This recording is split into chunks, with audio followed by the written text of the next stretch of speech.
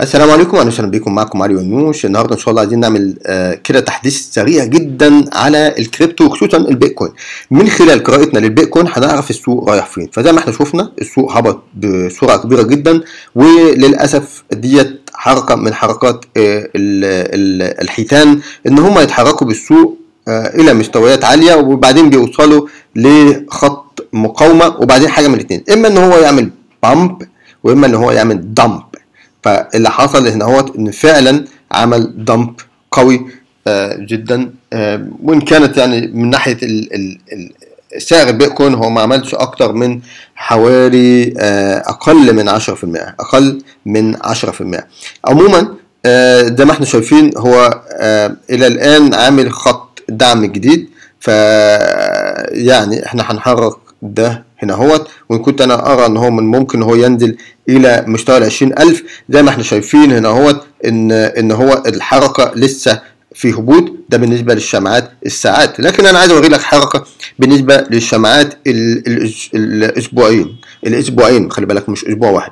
بالنسبة للأسبوعين المنظر مرعب جدا. فزي ما أنت شايف هنا هوت عامل هبوط بقاله من شهر يعني إحنا لو اتحركنا من شهر مثلا من نوفمبر العام الماضي إلى الآن وهو في هبوط.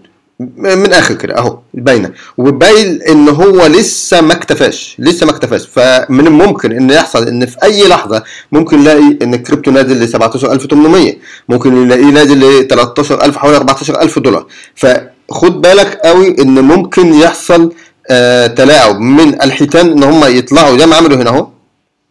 يحسسك ان كل حاجة هتبقى كويسة. ده لمدة أسبوعين على فكرة. أسبوعين وأسبوعين يبقى كده شهر هنا. شهر كامل آه كل شمعة بأسبوعين. فشهر كامل كل حاجة الناس آه بقت كويسة. الناس توقعت إن هو يطلع. بل هبط بينا هبوط شديد جدا. وكانت الهبوط الأخير. ده كان صعب جدا. طب نبص على الأسبوع. الأسبوع كل دوت الحاجات ديت لما بتبص عليها نظرة كبيرة كده من بعيد بيكون أوضح وأحسن. زي ما إحنا شفنا أهو أدي اللي إحنا كنا بنتكلم فيه. وبعدين حصل هبوط شديد. حتى إن هنا كان بيوحي إن هو هيبتدي يتحرك. والسوق يطلع ولكن استمر في هبوط وده من الممكن إن يحصل في الفترة الجاية دي.